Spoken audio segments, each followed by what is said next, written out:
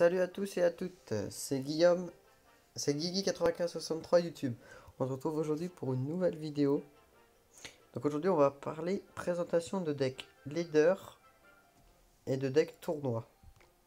Alors tournoi, tournoi, voilà celui-là et celui-là, les deux decks tournoi. On va les détailler ensemble après. Donc, le deck leader qui se compose du cochon, éventuel tank, mais qui est plutôt pour l'attaque. Qui est plutôt pour l'attaque. Donc après, on a un petit peu d'aérien avec les petites trois gargouilles. Les petites trois gargouilles qui servent de support derrière le cochon, qu'on peut également combiner avec un bouliste pour défendre, pour, euh, défendre son bouliste. Donc les trois gargouilles qui sont très efficaces en tout. La tombstone qui est très efficace contre le cochon, le golem, le PK, le géant. Bah, en fait, c'est la, pour moi, c'est la meilleure défense du moment. Voilà. Donc après, nous avons le méga chevalier qui fait office de tank défensif et aussi offensif avec euh, le cochon derrière. Je vous montrerai ça en, vidéo tout à l'heure. Donc après, on a les petits archers pour bah, pour tout ce qui est euh, petits dégâts en fait. Euh, petits dégâts qui combinés avec un zap détruit une horde de gargouilles ou, ou une armée de gobelins. C'est très efficace les archers. Après nous avons le boulis pour tout ce qui est les dégâts de zone terrestre. Donc tout ce qui est terrestre, euh, les barbares, les barbares d'élite, les sorciers, tout ça, etc. Après nous avons la roquette qui est plutôt dégâts de zone mais aussi pour, euh, pour l'aérien, car on n'a rien en dégâts de zone pour l'aérien, donc il faudrait des dégâts de zone aériens. Donc du coup, la roquette est très efficace contre tout ce qui est ballon, euh, ballon, horde de gargouilles, euh, tout ça. Et, extracteur d'élixir, donc voilà. Donc, nous allons passer à une petite game, je vous expliquerai durant la game comment on joue le deck. On va passer une petite game. Bon, on est actuellement à 4498 trophées. C'est pas mal en début de ligue. On va pas se cacher, c'est pas mal. Donc, ouais, on va combattre. On va faire une petite game. Donc, on est contre Ulugun A447 du clan. Euh, bah, le clan, je, je, ne pourrais pas vous le dire. Donc, du coup, on met les petits archers en fond de map. Toujours mettre les petits archers en fond de map. Donc, il joue géant royal. On va l'agresser tout de suite avec un petit cochon et le chevalier devant. Bon, là, je l'ai mal placé, le chevalier. Donc là, ouais, on risque de se faire punir. maintenant, il va falloir gérer la... le counter push, le géant royal. Donc le géant royal, je le gère souvent avec une petite pierre tombale et les petites trois gargouilles en support. Là, il a très bien géré. Donc du coup, ouais, du coup, le deck, en fait, le deck, il est très fort, mais contre les géants royales, c'est le seul problème, en fait. Donc, du coup, on va remettre un petit cochon. Même si on n'a plus beaucoup d'élixirs, on met quand même un cochon. Voilà, on a tenté le cochon, qui a été plutôt bien placé. On va plutôt mettre quelques coups sur la tour. On force à mettre de l'élixir. C'est ce qu'on veut.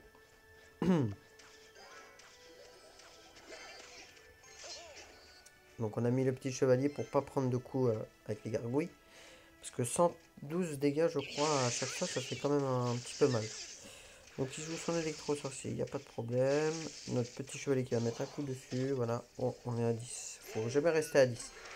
Donc du coup, on passe le bouliste là, pour que le sorcier électrique focus le bouliste. On est pas mal. Donc du coup, on va mettre les petites trois gargouilles.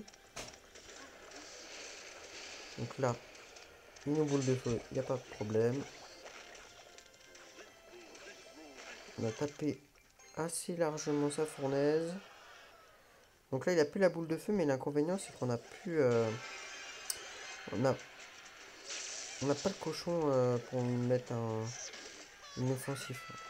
Une offensive. Il défend très bien, excellent. Il défend très bien. Donc là, on met le bouliste pour tout ce qui est barbare, ça fait ça fait le taf. Voilà. il nous ça, il n'y a pas de problème. Mais on a mis... On a mis un petit peu le géant royal un peu trop. Un petit, on a mis un petit peu la pierre tombale trop tard, donc là on est pas mal. On va passer sur un counter push. hop. On pourrait mettre encore un petit coup, voilà, c'est pas mal. C'est pas mal. Le petit, le petit sorcier électrique, oui, le petit euh, chevalier qui peut mettre coup, c'est pas mal. Donc là les gars, on est plutôt pas mal.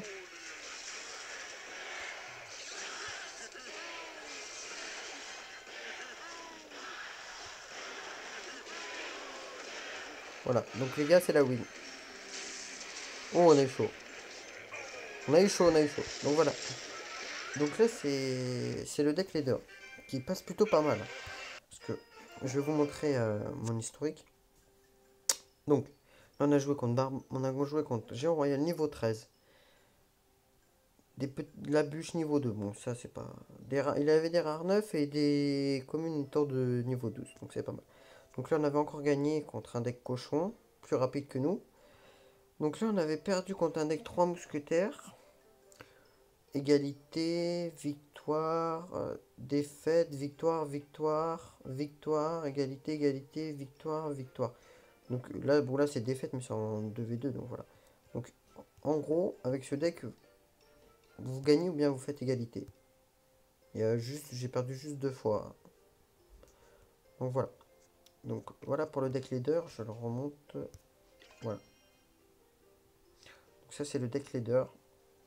N'hésitez pas à le copier ou, à le jouer si vous avez les cartes assez up.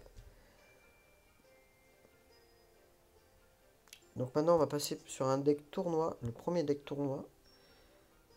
Donc le premier deck tournoi c'est un deck golem, 3 mousquetaires qui est très cher mais très fort.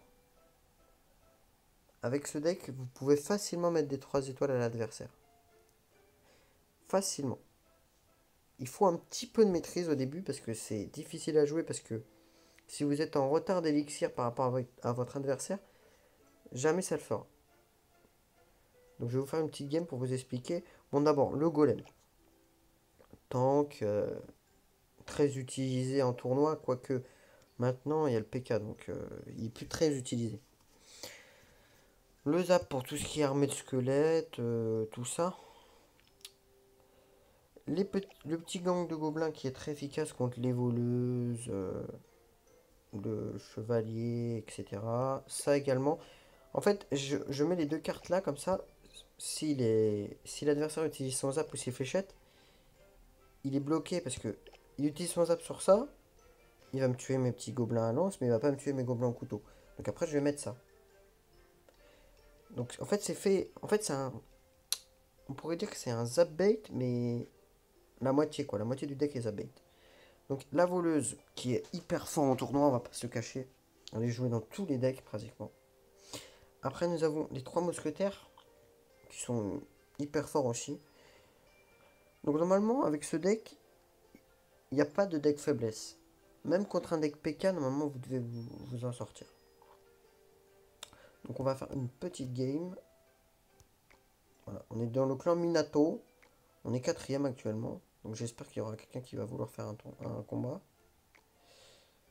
Est-ce que c'est le cas? Bon, apparemment non. Donc on va changer de, Désolé, on va changer de, de tournoi. Parce que apparemment... Apparemment, il n'y a pas de joueurs. Donc on va aller se chercher un petit. S'il veut bien m'en trouver un. En fait, faut taper des lettres aléatoires comme ça et puis. Par contre, j'arrive pas à en trouver, c'est ça pour nous. Donc euh, du coup. Euh, non, celui-là non, celui-là non. Bon, euh,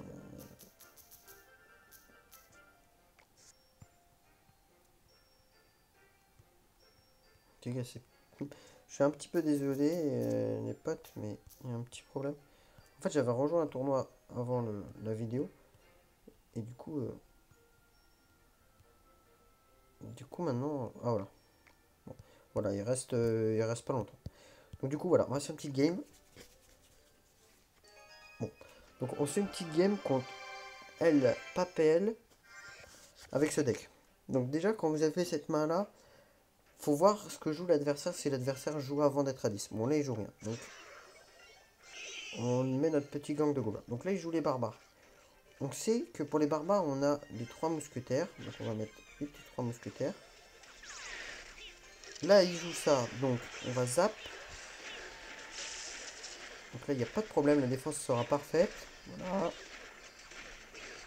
normalement, il n'y a pas de problème avec ce deck. Vous n'allez pas avoir de problème. Donc là, soit on attaque, soit on pose un pompeur. Donc on va poser un petit pompeur dessus, voilà. bon, là on a posé un petit pompeur un petit peu tôt. Donc là il va falloir gérer son armée de squelette. Voilà. Avec notre armée de squelette. Donc là on a un petit avantage, on a touché les deux tours, il n'y a pas de problème pour. Il joue le petit euh, bébé dragon. Donc le bébé dragon je vais le je vais faire une diversion avec la voleuse, comme ça le bébé dragon il va pas beaucoup taper sur ma tour. Il va taper normalement deux coups si je pense. Voilà, deux coups. Donc là on a mis un, petit dash de voleuse, donc là on va zap. On va zap pour détruire tout ça. Normalement ça met pas de coup sur la tour. Voilà, parfait. On va reposer un petit pompeur. En fait ce deck est très très bien Regardez, on a déjà deux pompeurs sur le terrain. Le joueur ne pourra rien faire là. Je vous le dis, si vous avez deux, pompeurs de jus sur le terrain, la game est à vous. Parce que là, regardez, on va poser ça. On va ignorer le cochon. On va ignorer le cochon. On va ignorer le cochon. Parce que de toute façon, on, pompe. On peut ignorer le cochon. Pas de problème. Donc là, du coup, on va mettre deux mousquetaires du côté du golem et une mousquetaire de l'autre côté. Donc là, on va partir sur une petite voleuse. Là, on va zapper. Un petit peu trop tard, mais c'est pas grave. Regardez, regardez. Là, il peut plus rien faire, là, les gars. Il ne peut plus rien faire. Même s'il gère bien ses deux tours Regardez, regardez. Là, on part sur un 3 couronnes. Regardez, regardez. Là, je vous dis, ce deck, rien à dire. Regardez. Regardez. Simple à jouer. Vous avez deux pompeurs sur le terrain. Vous avez gagné. Vous avez gagné. Même si l'adversaire joue euh, roquette, euh, sort de foudre, etc. Sur vos pompeurs, il y a quand même moyen de gagner. Hein. C'est pas parce que c'est un deck cher que sans euh, réservoir d'élixir, vous n'allez pas, pas, vous pas y arriver. Donc du coup, on va se refaire une petite game comme ça pour bien vous montrer comment comment on joue encore ce deck. S'il y a encore un adversaire, parce que bien évidemment... Euh. Donc du coup, on tombe contre Alvaro, qui est déjà à 129 trophées, donc ça veut dire qu'il est pas mal, dans le tournoi, il est pas mal. Donc, on a le pompeur de jus. Donc, on le place, toujours quand vous avez le pompeur dans votre main, vous le placez. Toujours. Là, il met la voleuse, il n'y a pas de problème, on va mettre notre petit gant. Bon, il met ça, donc on va mettre ça. Voilà. Donc là, il joue très bien l'adversaire. Donc là, on va se faire un petit peu... Euh, on va se faire un petit peu prendre des dégâts. On va pas se cacher. On a pris... on a pris des dégâts. Mais on a pu circler un petit peu notre deck pour avoir un deuxième pompeur. Donc c'est pas mal. Donc du coup, on va placer une petite voleuse là. On va replacer un deuxième pompeur. Pour l'instant, on n'est pas trop trop mal. Voilà. On tape sa tour. On laisse taper sa tour. Pas de problème. Donc là, on a deux pompeurs. On va partir sur un petit golem. S'il ne nous agresse pas. Il nous agresse pas. On va partir sur un, golem. Mais ça voleuse en fond de map. Il n'y a pas de problème. La voleuse qui va normalement dasher. D'accord. Donc il joue un deck... Euh,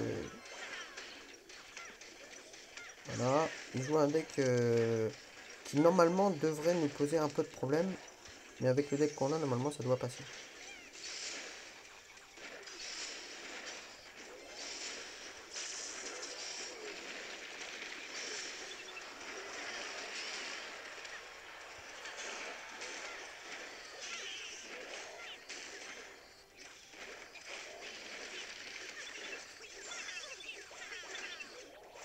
Voilà, le pompeur.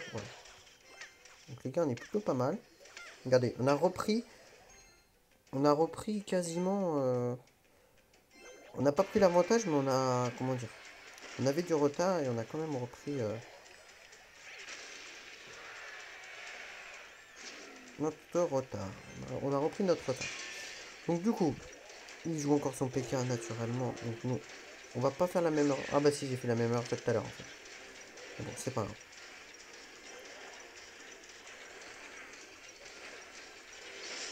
Du coup là, il va sûrement nous jouer son petit. Voilà, comme d'habitude. Comme tout à l'heure. Et là, je vais exactement pareil que tout à l'heure. Donc là, on va faire ça.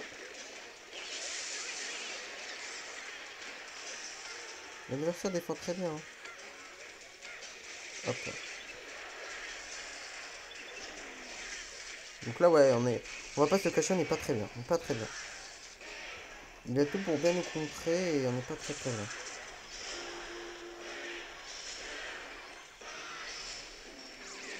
On n'est pas très très bien, on va pas se cacher. On a le deck tipping counter en fait.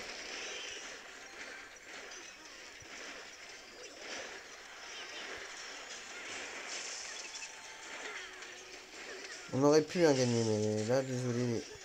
Désolé, les petits On aurait pu, mais là, on avait des counters, euh, vraiment counter, en fait. Donc, je suis désolé. Mais ce deck, je vous le garantis, il est très bon.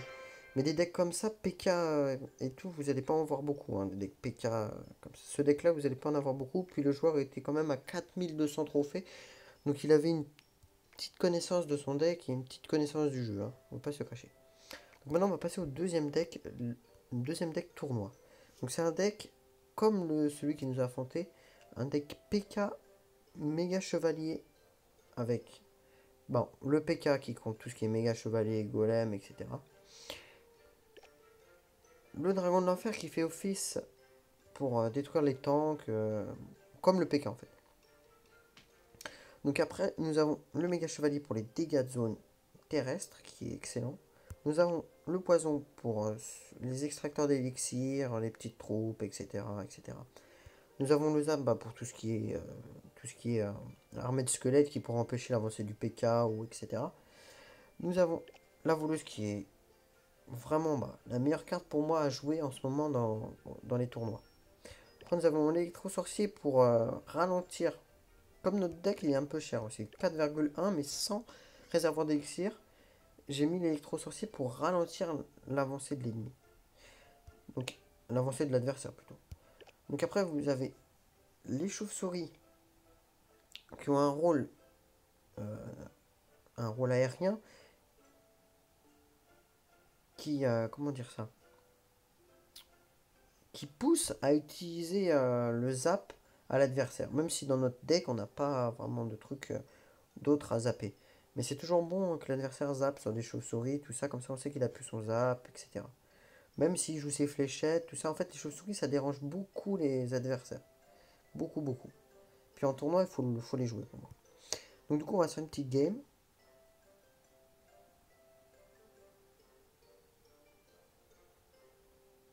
Euh, s'il veut bien.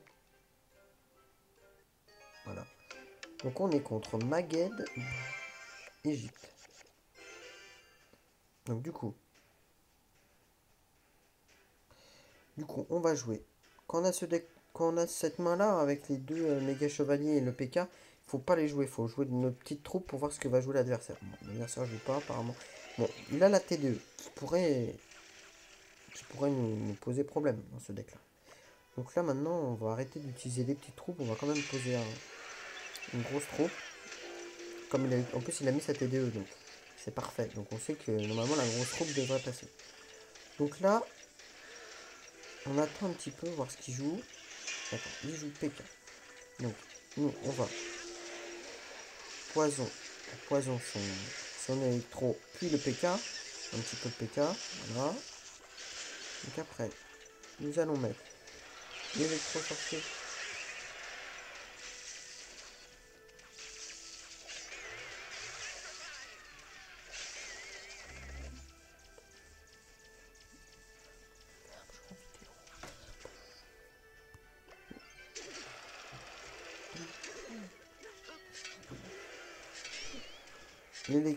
maintenant, nous allons mettre le méga chevalier. Excusez-moi, il y a un bug de micro. Donc, voilà. Donc on a pris un petit peu de dégâts. Donc maintenant on met les méga chevaliers, on va voir comment l'adversaire joue. Donc là on va pouvoir zap. Voilà. Ça l'adversaire sera obligé voilà, de jouer ça. Je comprends pas pourquoi le méga chevalier ne saute pas. Il faudrait que... Parce que des fois il saute, des fois il saute pas. Donc, du coup, nous allons mettre le PK en fond de map. Voilà. Donc là, il joue un deck PK. Hein. On joue un deck PK. Donc maintenant, quand vous voyez que vous êtes en temps extra, il faut jouer le PK d'un côté et le... Euh, et le euh, méga chevalier de l'autre. Donc là, il fait ça, pas, de problème. On va zap comme tout à l'heure. Donc là, regardez, est là, il est carrément en désavantage.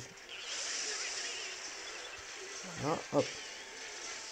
Donc là, on va continuer. On va remettre notre petit PK de fond de map. En fait, on va faire que ça. Agresser comme ça. Voilà. Hop. Hop. Bon, la voleuse, il va finir la tour. Pas de problème.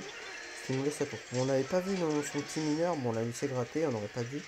Donc là, on continue. Méga chevalier du même côté. Bien là, vous pouvez défendre. Parce que quand vous avez pris une tour, vous pouvez défendre. Mettre le, méga chevalier du même côté que le, le PK. Il n'y a pas de problème.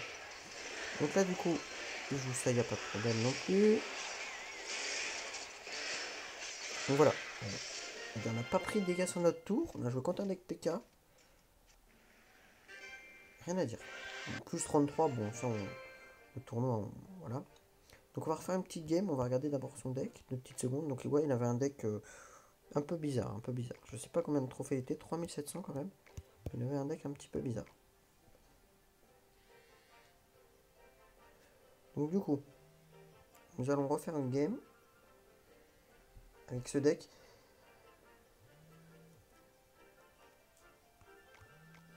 S'il veut bien me trouver une game, hein, ça serait un petit peu sympathique, ça serait sympathique.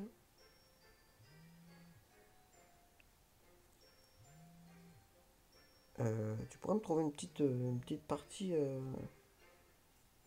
apparemment, il n'y a pas de partie. Il n'y a pas de partie. Hein. Bon, désolé pour l'attente.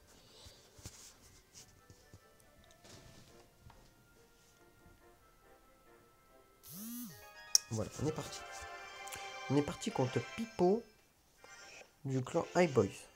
Donc les gars, quand vous avez cette main, toujours jouer l'électro-sorcier en map. Voilà. Préférable du côté où il pose ça trop pas. Donc là il joue ça. Hop, voilà, comme ça au moins on prend tout. Donc là déjà on a une avance considérable au niveau du, push qui va suivre. hop, donc là les gars, regardez, là ça y est, la tour qui tombe. Là vous allez partir sur un 3 couronnes là. En plus l'adversaire ne fait voilà, l'adversaire sait déjà qu'il a perdu. Regardez. Regardez. Regardez. Voilà. Voilà les gars. Ce deck là, il est excellent. Mais dès que. C'est pareil que l'autre. Dès que vous avez un petit désavantage en élixir, vous vous en sortez plus en fait. Faut vraiment savoir bien bien le gérer. Mais il n'est pas trop difficile à gérer. Hein. Et ce deck là, ce deck là, je dirais qu'il est un petit peu plus dur à gérer parce qu'il est un peu plus cher quand même. 5.0 de coût. Hein. Mais normalement, vous devrez y arriver. À moins que vous tombiez sur ce deck là, ou un deck similaire PK méga chevalier qui est un petit peu dur à gérer avec ce deck là, mais qui peut le faire. Hein, parce que tout à l'heure on a perdu, mais ah, pas beaucoup. Hein. Donc voilà. Donc les gars, j'espère que les decks vous plairont et que ma vidéo vous a plu. Et n'hésitez pas en commentaire à me dire votre deck leader et à combien de trophées vous êtes. Ça, ça m'intéresse. Donc les gars, à plus pour une nouvelle vidéo. Ciao, ciao.